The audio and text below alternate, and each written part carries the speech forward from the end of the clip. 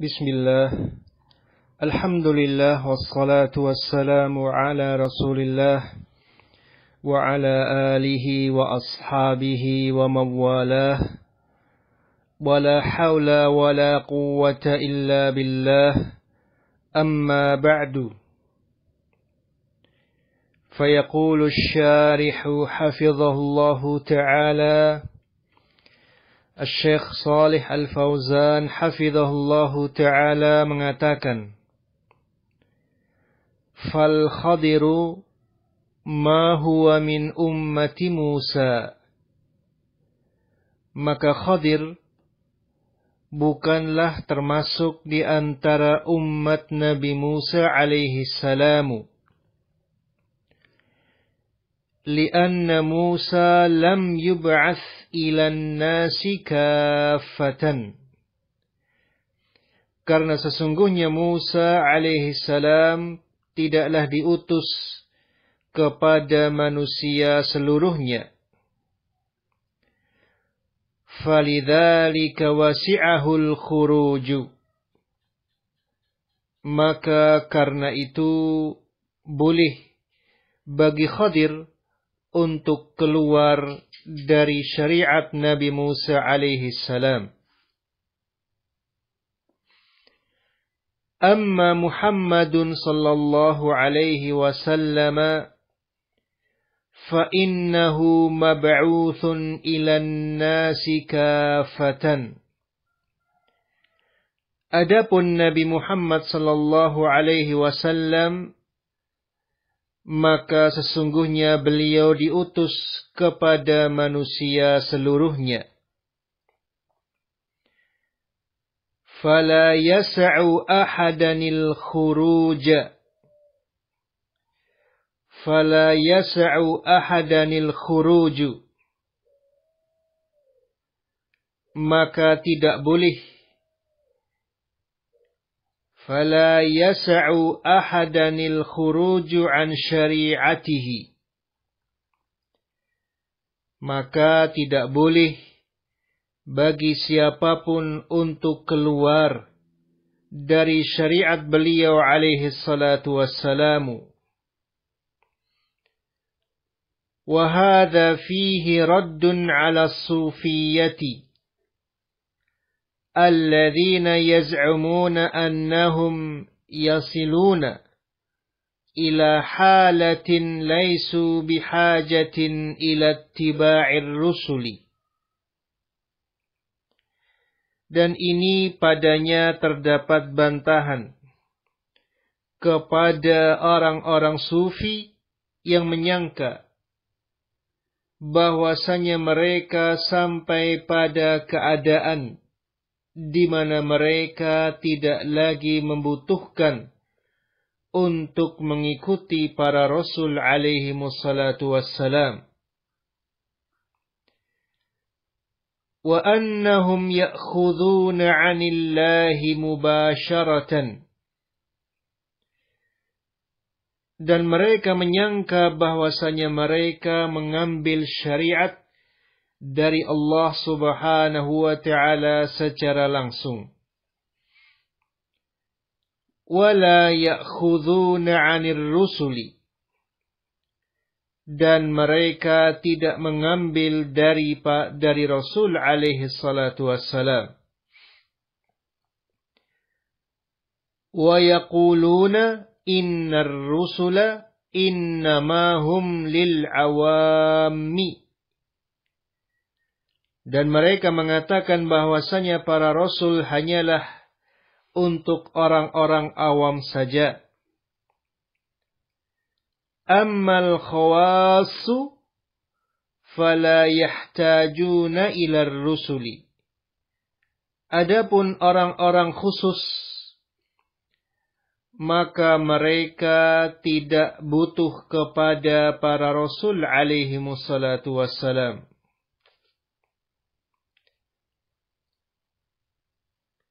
لأنهم يعرفون الله ويصلون إلى الله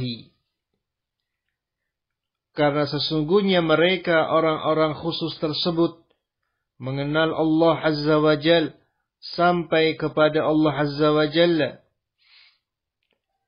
وَيَأْخُذُونَ عَنِ اللَّهِ مُبَاشَرَةً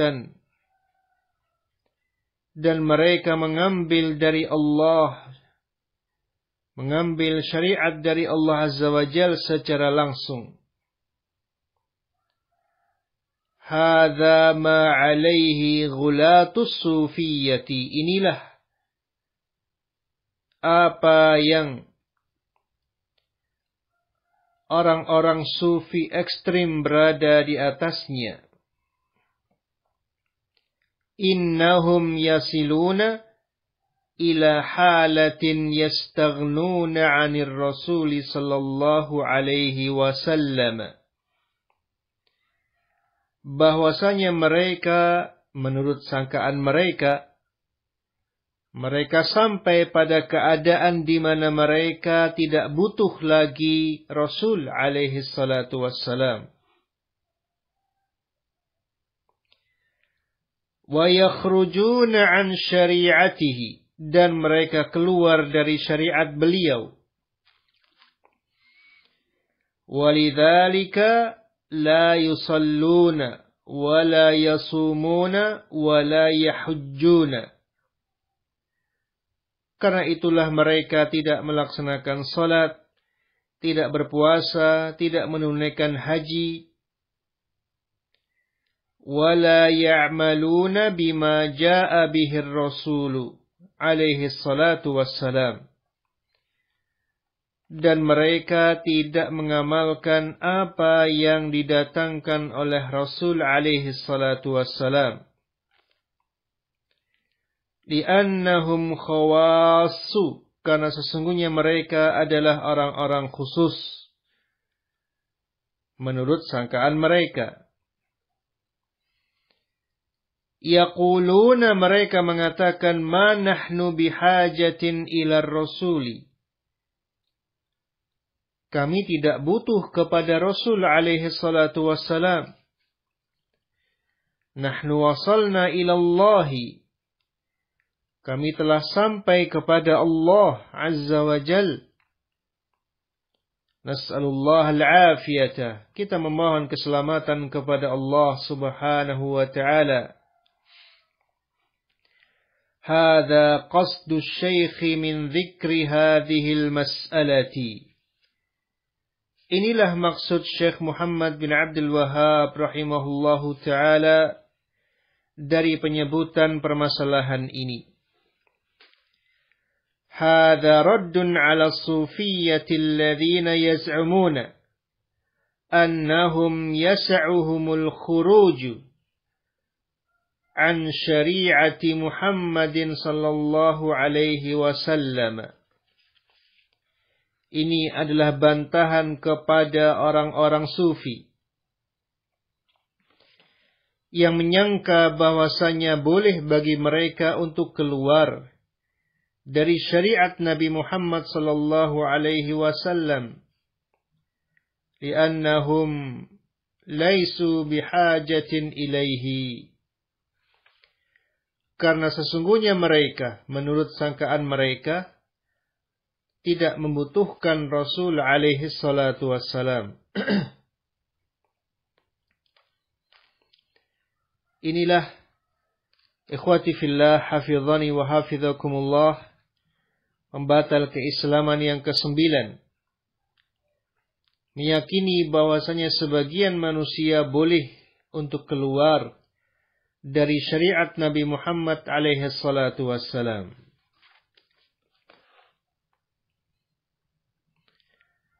قال المصنف رحمه الله تعالى الشيخ محمد bin Abdul Wahab rahimahullahu taala mengatakan Al-Ashiru pembatal keislaman yang ke-10 Al-i'radu an dinillahi ta'ala. Berpaling dari agama Allah subhanahu wa ta'ala. La yata'allamuhu wa la ya'malu bihi. Tidak mempelajarinya dan tidak mengamalkannya. Qala syarihu hafizahullahu ta'ala Syekh Salih Al-Fauzan hafizahullahu taala mengatakan al-ashiru wa huwa al-akhiru.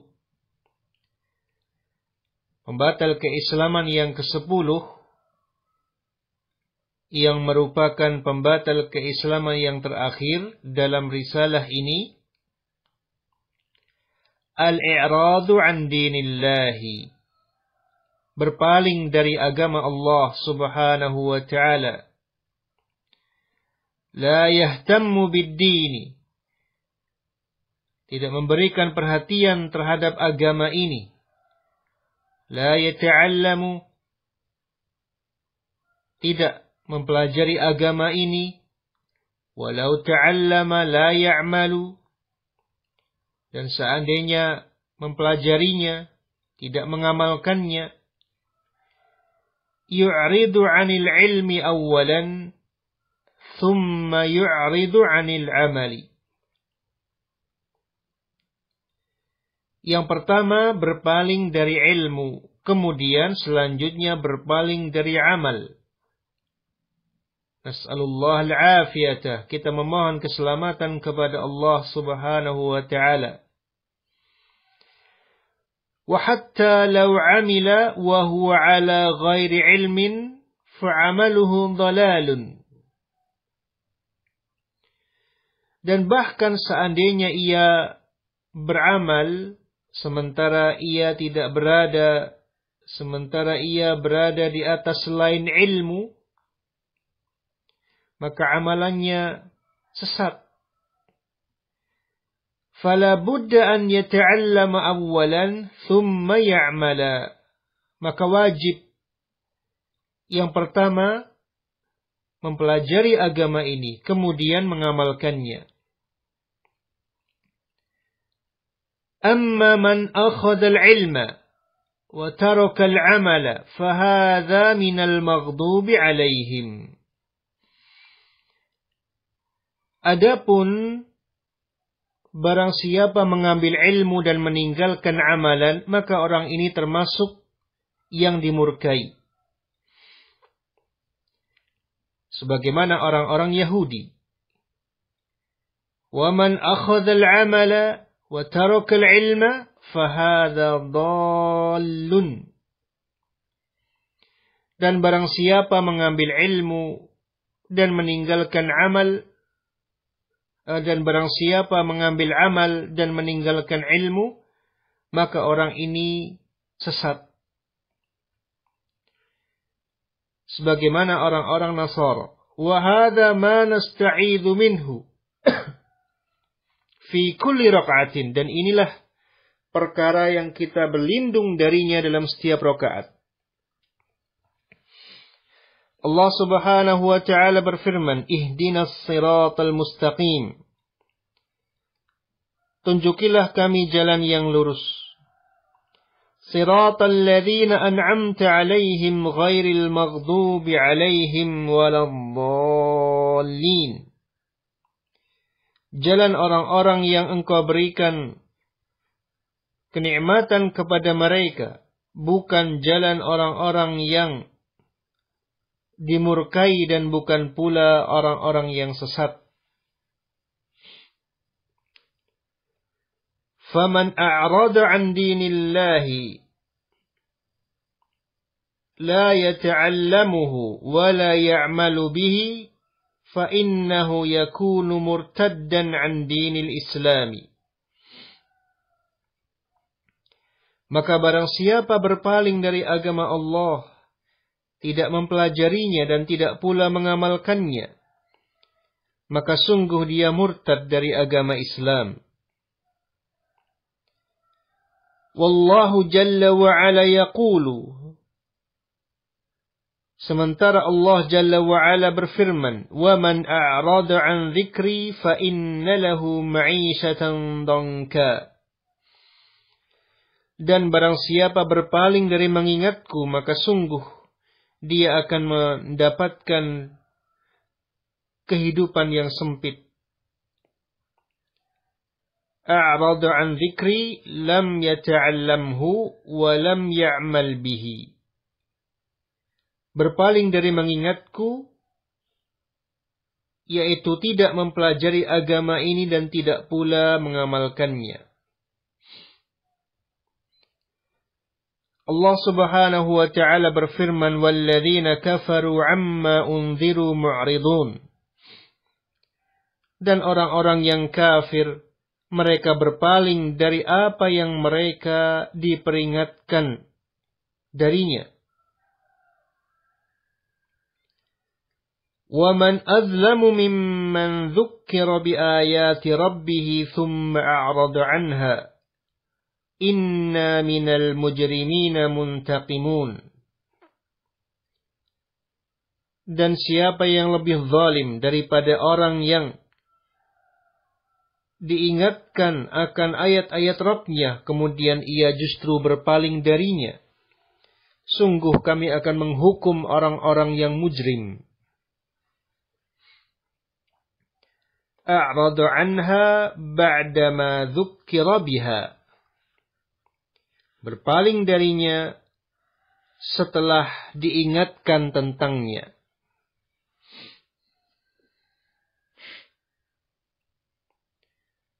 وهناك إنسان لا يتعلم من باب الكسل dan di sana ada orang yang tidak mempelajari agama ini karena malas. Hada la yukaffaru. Orang ini tidak dikafirkan. Walakinnahu yulamu ala kaslihi. Namun dia dicela atas kemalasannya. Amma idha kana taraka talab al-ilmi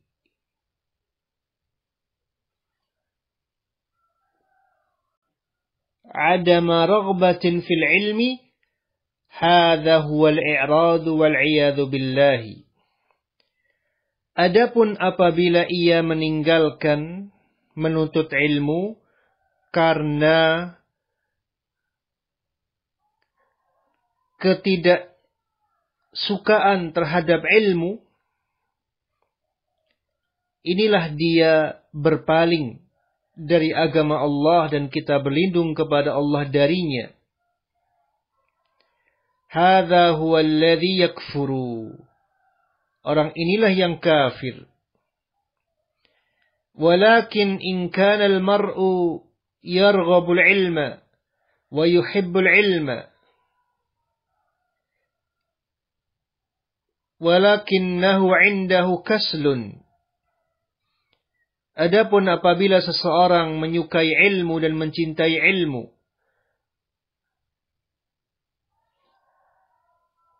akan tetapi padanya terdapat sifat malas. Lianna talab al-ilmi sa'bun yatatallabu sabran wa yatatallabu tahammulan wa yatatallabu julusan Wahuwa kaslanu. Karena sesungguhnya menuntut ilmu itu sulit. Menuntut kesabaran. Tahammulan semakna dengan sabran. Kesabaran. Dan menuntut untuk duduk. Di majelis-majelis ilmu. Sementara dia malas fahadha yulamu ala kaslihi wa ala maka orang ini dicela atas kemalasannya dan atas sikap bermudah-mudahannya. Walakinnahu la yasilu ila haddil kufri. Akan tetapi ia tidak sampai pada batas kekafiran. Wallahu taala a'lam bis-shawab وفق الله الجميع لما يحب ويرضى وصلى الله على محمد وعلى آله وأصحابه أجمعين. سبحانك اللهم وبحمدك أشهد أن لا إله إلا أنت. أستغفرك وأتوب إليك وتفضلوا بارك الله فيكم وجزاكم الله خيرا.